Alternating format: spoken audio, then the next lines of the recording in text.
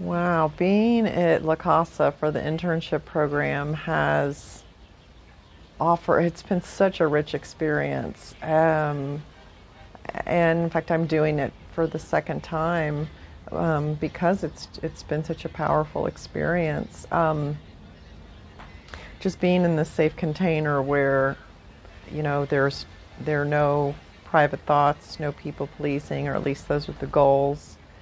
Um, it just forces me to to really bring these embarrassing these these bits that aren't welcome out in the world and to just air them and and find that there's really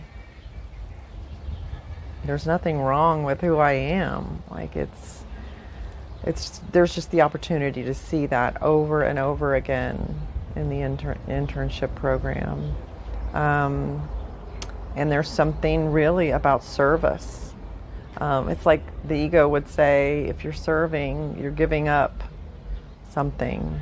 And yet, that's just not been my experience. And I, I think the other interns here would say the same thing.